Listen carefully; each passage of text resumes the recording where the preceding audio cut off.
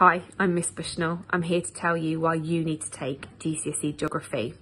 Other than employees seeing it as a robust academic subject, you learn lots of knowledge and skills. The skills can be in decision making and communication and group work. Um, you have a broad sense of understanding of the world. Not only that, but you look at physical, economic, and social aspects of our world. It can lead you to all sorts of jobs.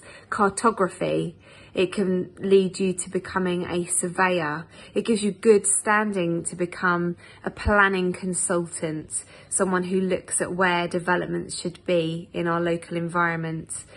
You might think about becoming a social researcher. Within the realms of learning GCSE geography, you will be thinking about human impact on the environment, about development, about migration. Physically, we'll be thinking about land masses, we'll be thinking about natural disasters and weather patterns.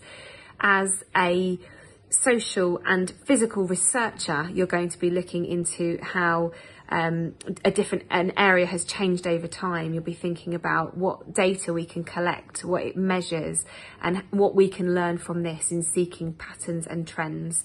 GCSE geography is an excellent GCSE. It's rigorous, it's interesting, and it is current. It's about the world that you live in. We all know that our uh, environment is under threat. Well, there are lots of things going on that are trying to improve that, and you will be part of the campaign, I guess, to improve that for our future.